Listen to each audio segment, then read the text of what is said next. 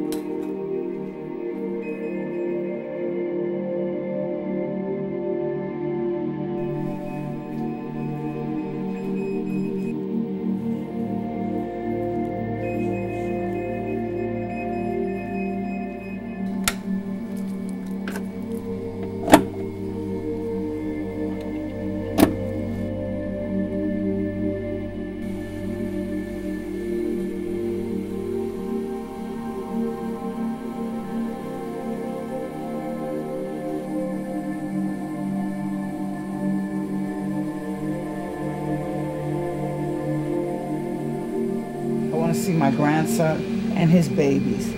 He's eight years old. He said to me, Grammy, don't you want to see my babies?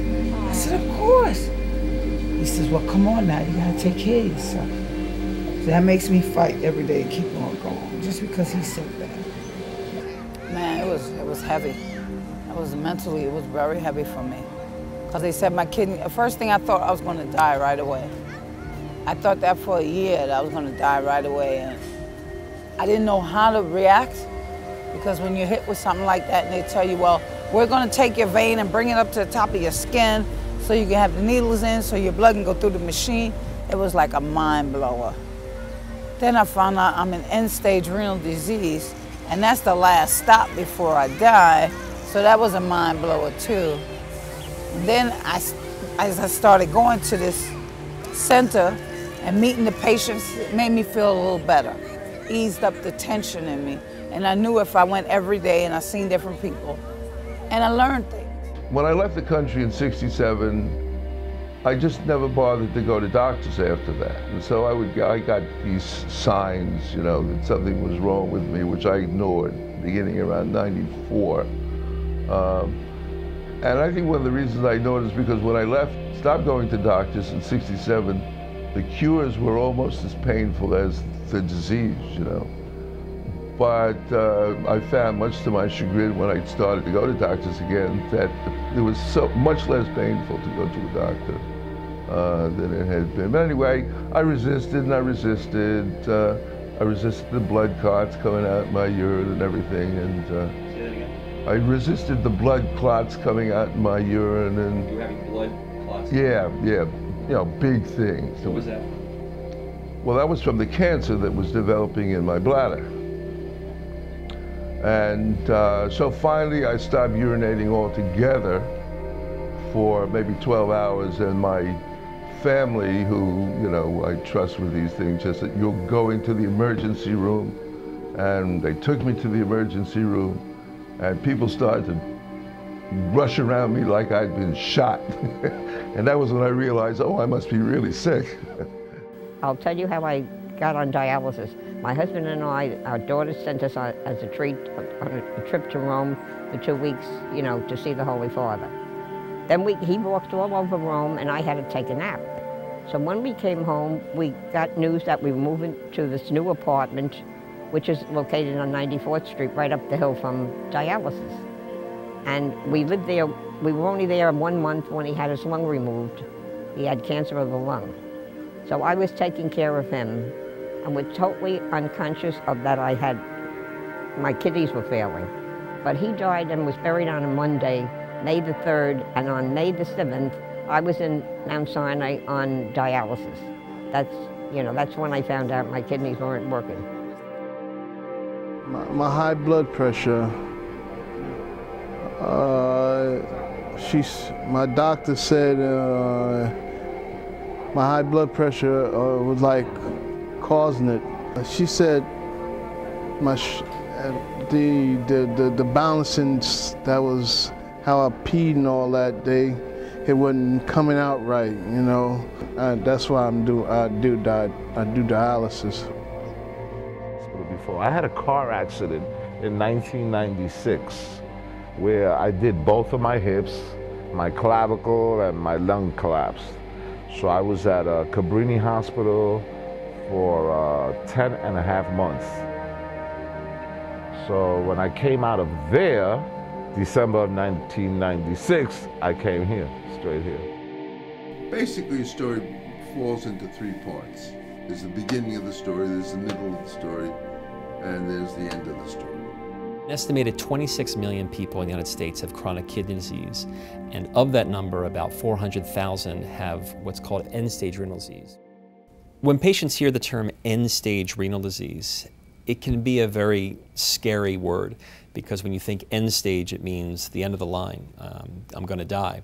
When in fact, end stage renal disease really just means that your kidneys no longer work well enough to clean your blood of toxins and that you need assistance. In the United States, most patients who are on dialysis are on hemodialysis, which involves going to a center, a dialysis center, where they get their treatment three times a week. And each treatment lasts anywhere from three and a half to four hours per treatment. And when you factor in the time it takes to get to the unit, to get put on the machine, and then they get taken off the machine and to leave the unit, it can sometimes take up to six or seven hours each time. I get up like I get up uh, nine o'clock, clean up, wash up, and everything, and uh, I leave. I, I, leave from upstairs for for eleven. I leave upstairs at eleven o'clock. Stay downstairs, wait for the truck to 1.30, something like that, and and uh, 1.30 they pick me up or something like. They pick me up like that. I usually get here about 4.30, 5 o'clock, because somebody's always not here for whatever reason. My um, shifts really, I'm on the fourth shift, which starts at 6 o'clock. But usually if they're running, you know, ahead of time, sometimes they can get you on by 5. You know, so. Now my schedule is Tuesday, Thursdays, and Saturdays. And I'm here for three and a half, no, three hours and 45 minutes, which usually turns out to be more. The, when the first time I came here, it hurt. But after a while, you know, I had I had I had the things up here. I had a thing. Uh, yeah, I had a catheter up here. So, you know, they put these here after my catheter went uh, went for, went uh, bad. So I had to you know, they had to get they had to get this put this in there, and that you know, I have no problem with it since. Hardest part about dialysis for the physicians is how to get someone's blood out of their body and through the machine and back into it. And an AV fistula uh, is the best vascular access for that. One hospital, they wanted to chop up into my skin real quick because they told me my, my kidneys, they weren't bad then, but they told me they were going. And they wanted to chop into my skin right away. And I'm like, uh-uh, hold up. You got to explain this thing to me before you start doing things like this. An AV fistula is when a surgeon takes an artery and a vein in your arm and connects them in such a way that the vein becomes large and easy for a nurse to put needles in so that the blood can be circulated through the machine. This, this is the fistula. So they went up in here and they started from underneath my armpit and they cut it. And they put the artificial vein they brought my regular veins close as they could to the skin. They put the artificial vein, excuse me, artificial vein into it. And that makes it easier for the, the needle to go in the tubing. It's a, it's a plastic tubing, two of them, one here and one there. One is for the blood to go in, go up and around the tubing, go through the machine, go through the filter, and come back in here. And this, this is a stressful thing a fistula, a fistula. And uh, like I said, it, was, it didn't hurt much. It was, hey, I, I, they put me to sleep and I woke up and they still was working on my arm. well, I don't know much about how the, the machine works except that it, it you have two, you have two, uh, an, an arterial and a venous artery. One takes your blood away and one returns it. You know, it's like a, it's like a cycle.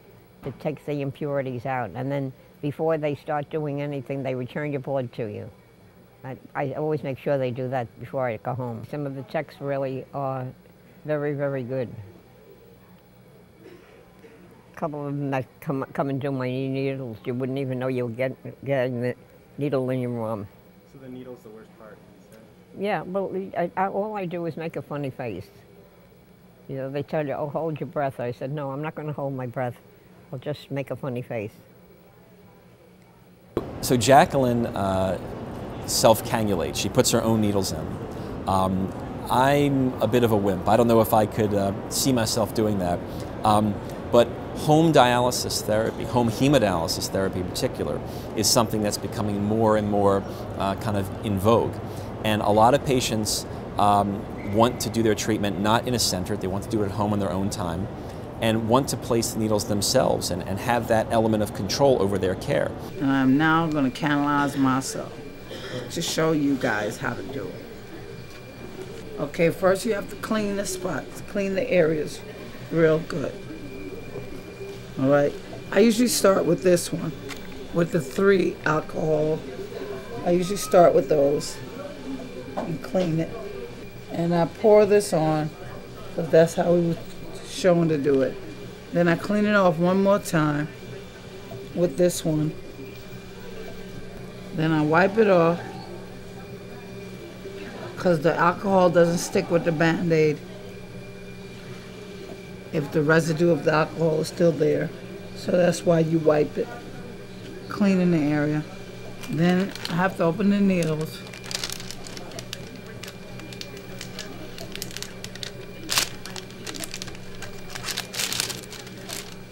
Okay. Um, this is for the arterial. The arterial is the bottom. It's the bottom, uh, what are these? Fistulas? No. Yeah, this is fistula. I call these humps. The bottom hump. Okay. This is the needle. There's a certain way you put the needle in.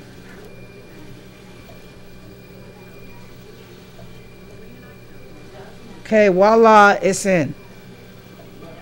Now I have to tape it.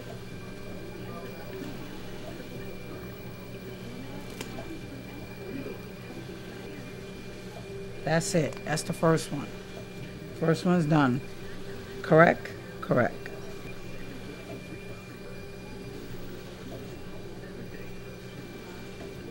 Ooh, it's not hurting today.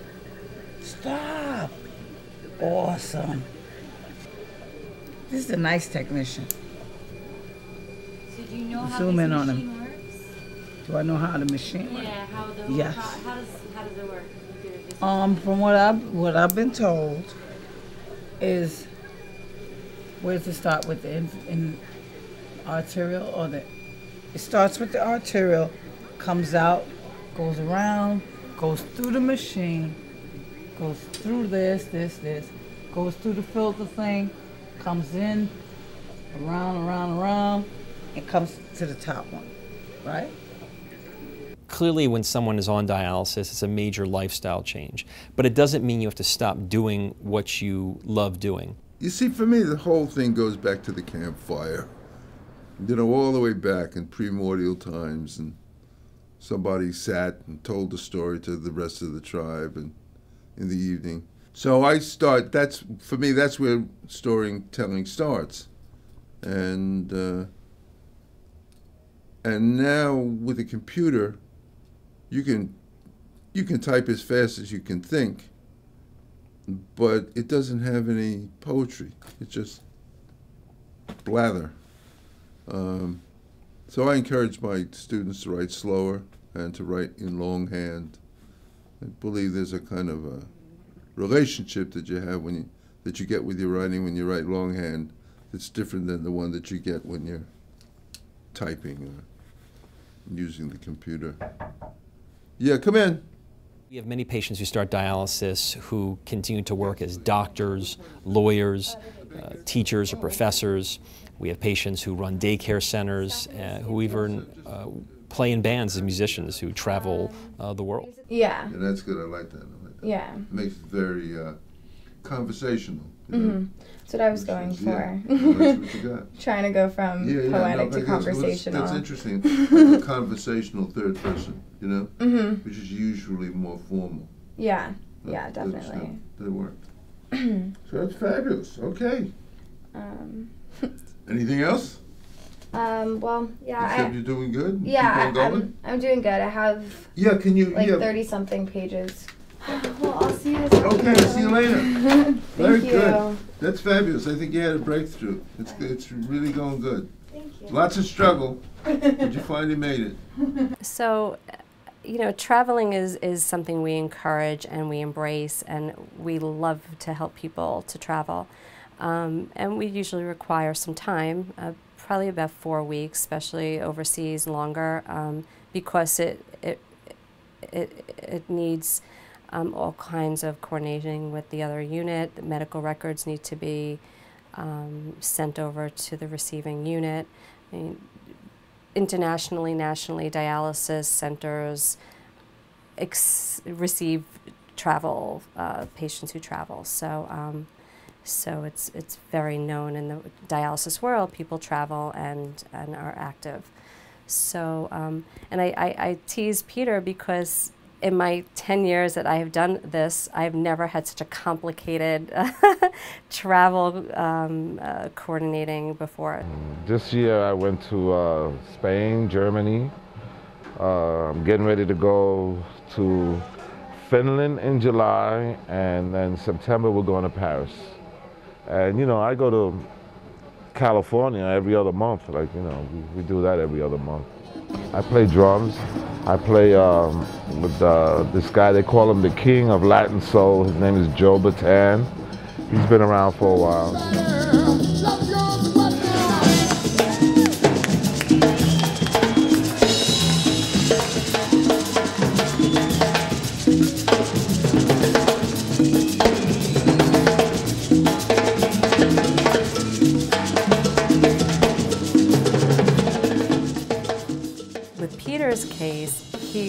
Going to California, Tokyo, and then another part of California.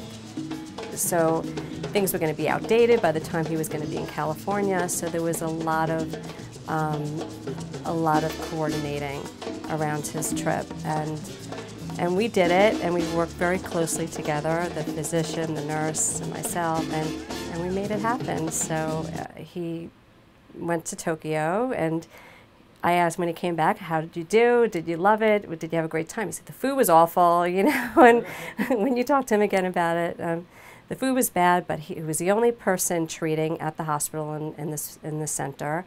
When patients develop kidney failure and have to go on dialysis, dialysis is a way to clean their blood of the toxins that build up and remove the excess salt and water that builds up as well. But patients have to be active participants in their care. And the way they do that is to help manage their intake, their diet. Uh, most of these patients are diabetics, so they're already told they can't take in a lot of sugar. Uh, they tend to also have high blood pressure. You get, you you know, you know, you know, uh, you, get, you get tired of the diet. You know, you just feel like, you know, just chucking it. You know, my diet, my diet, cause, I, cause one diet I gotta, I can't eat, I can't, I can't eat, uh, I can't eat certain things on, on this, on one diet, and I gotta eat and certain things I gotta eat on on another diet, and I get mixed up and crazy, you know. So we tell our patients to not take in a lot of salt, or else they become swollen. Their legs can swell up. They can get fluid in their lungs. When I eat even a small 25 cents bag of potato chips, my legs will swell so much. And I try not to eat beans. And now you know, Puerto Rican not eating beans, so like, and I don't drink orange juice. We also ask patients not to eat foods that are very high in potassium. The kidneys remove potassium from the body, and when your kidneys don't work, the potassium level can build up and can be fatal, can stop your heart. Other things like phosphorus can build up and cause bone disease. Within all these issues and within all the pills you take, And then you gotta eat the certain foods and you gotta eat it right and you can't eat too much and you gotta watch high blood pressure. You can't drink too much. French fries, uh, Chinese food, pizza, uh, oh man, everything's salty. I can't eat franks, can't eat sausage. But I had some good Italian sausage the other night. Oh. What food do you miss the most that you can't eat? Oh, uh, melons, uh, the melons. I, you know, when you go away a lot, they have these continental breakfasts. And what they have? Melons, you know, and, and, and honeydew. You know, I might take a little slice, but that's it. Fried chicken. Fried chicken. Popeyes. Any kind of fried chicken, but mainly Popeyes. I like that spicy stuff. So it's very important that patients understand that what they eat is extremely uh, relevant to how they feel and how well they uh, can treat their own kidney disease by watching their diet. When I tell people that I'm a nephrologist, a lot of times they say, oh, my liver. Uh, they don't understand that it's the kidneys uh, that, that I study and that uh, alcohol is really more damaging to the liver, not the kidneys per se. Um, so I think there's a lot of misconceptions about why patients end up on dialysis, why they develop kidney failure. I have a lady next door to me now. She's from uh, Mexico. She said to me, where do you go three days a week? She knew the three days a week. I said, why? Are you writing a book, a mystery? So this is the best ever. She said to me, where do you go? I said, to dialysis. Now, she has a son-in-law, a doctor. Most people know what dialysis is for, unless you're living in another world. I said, I go to dialysis. She said, oh, you were drunk. I thought you said you didn't drink. I said, if you don't get out of my face, you will need a doctor. I said, it's for my kidneys, they don't work. Oh, I never heard that. I said, well, we'll go back to school. Diabetes is the number one cause of chronic kidney disease and end-stage renal disease. And most patients who are on dialysis have diabetes. The vascular disease that's associated with diabetes can result in patients having to get leg amputations. Well, it's funny. I mean, they this particular class now they they're getting me with one leg, and that's the way I am. And uh, you know, the only people you really have to explain to are the people who knew you before when you had two legs, and then now you have one leg, and they look and say, "Well, what happened?" You know, or dialysis is this kind of secret in terms of that. You know, nobody has to know unless you tell them. This is not an uncommon sight uh, to see a patient on dialysis who has lost a leg or a foot. It's not from the dialysis or the kidney disease itself, it's from the diabetes that caused the kidney disease. Uh, when I when I first had dialysis, uh, uh, I felt uh, mad. Felt mad. Uh, felt you know like uh, like God didn't want me on it. God didn't want me no more. I, I said, this is the hand that God gave me. This is the hand I'll have to play. But in a, in a way, the, the dialysis is like going to a job three days a week. You don't get paid, but you know you go to a job. I meet a lot of people here, and they they you know what, they you know they care, and I care about them. You know, you know, you know they they when I'm feeling down, they they cheer me up, and they feeling down, I cheer them up. I mean, the people I think the nurses and, the, and all that, that's a positive thing. I wasn't raised to like be like, you know, feel sorry for myself or, you know what I'm saying? Um, so what? Get up and go.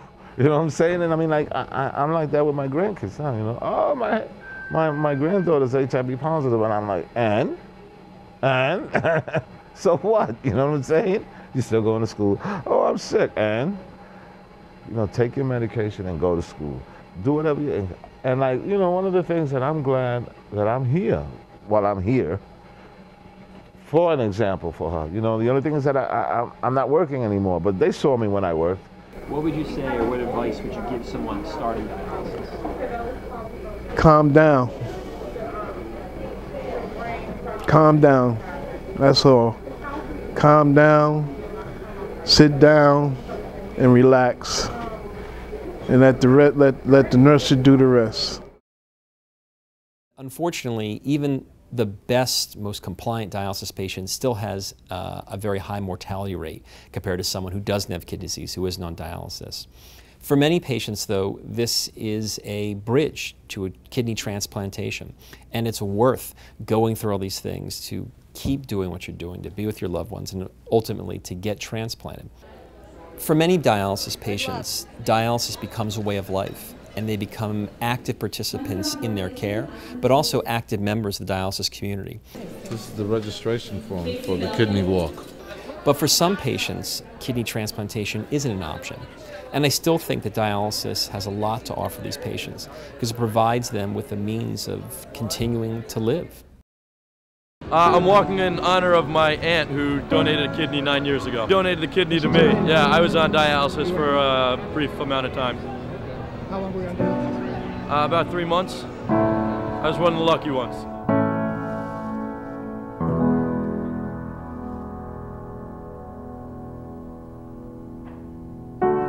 There's a house built out of stone. Walk to make people aware of the kidney problems that are happening in New York. And they also raised, I know we raised like $10,000. So. Tables and chairs worn by all of the guys. Last year was a sunny, sunny day. The year Since it's before was raining. a sunny day. You're gonna see no sweating. It's very cold. It's like a nor'easter today. But um, we're walking over the Brooklyn Bridge. It's one of those things that all Americans should be thinking about because we truly have the ability to give the gift of love. I love this organization. I salute every aspect uh, of what it does, and I thank you very, very much for being part of this great and joyous event.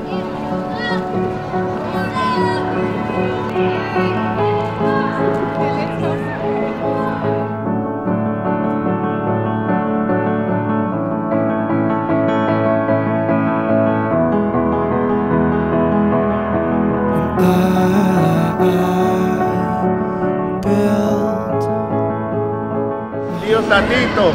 That's what we're working for. That's all. That, that, that, Nelson. For me, On my diet? well, I try, I try to keep on a diet. So that's all I can tell you. I try.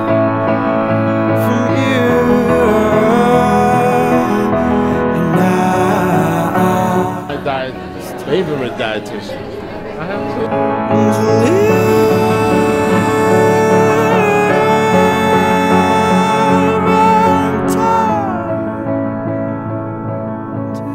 Show off that shirt. We walk for kidney Oh wait, health. let me put on my shirt. She died a month ago, September 18th. Uh, she had some uh, kidney trouble. She was only 64 years old. She went through 10 years of dialysis, and she was a very strong woman. And this is a memory of her mom today. Dialysis in general is a hard thing to do, but it's life. You're a survivor, you should know, yeah? Yeah, I'm a survivor. You know, you have to survive. You can't give up.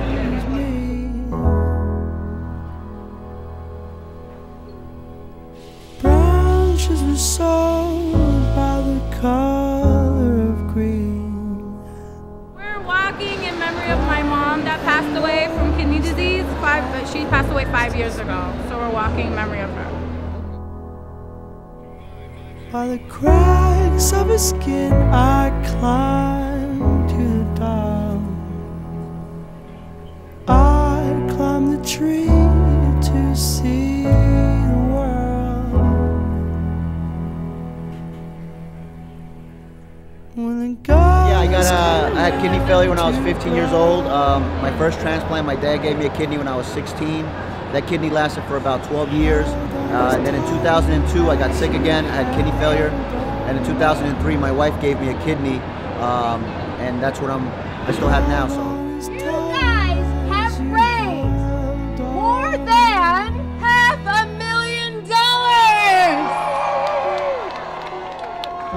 We walk for those who can't get out of their dialysis chair today. We walk on their behalf.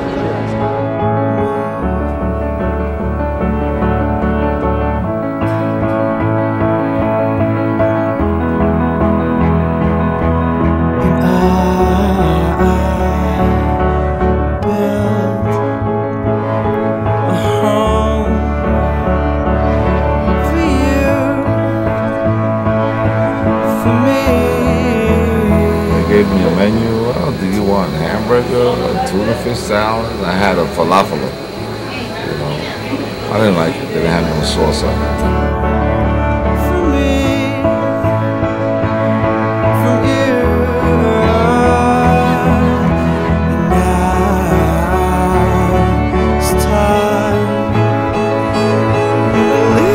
Oh, cool. He just said, he just waved at me.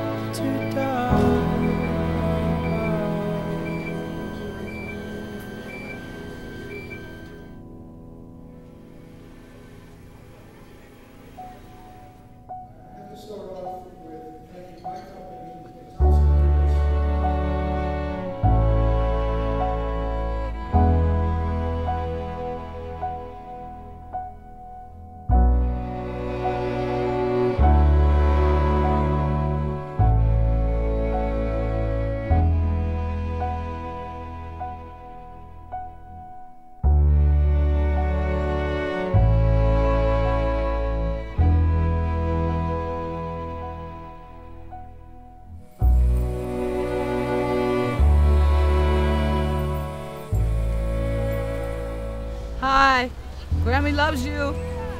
I love you. Bunches and bunches. Infinity.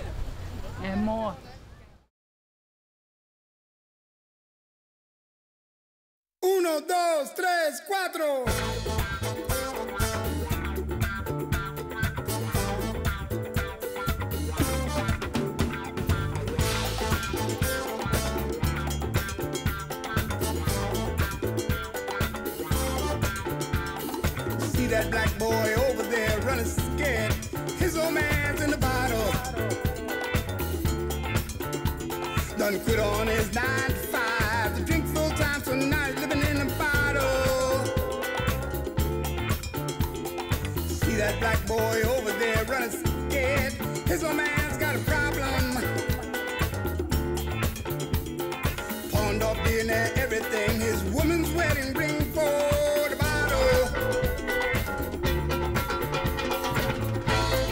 Heard that? That was me. time after time.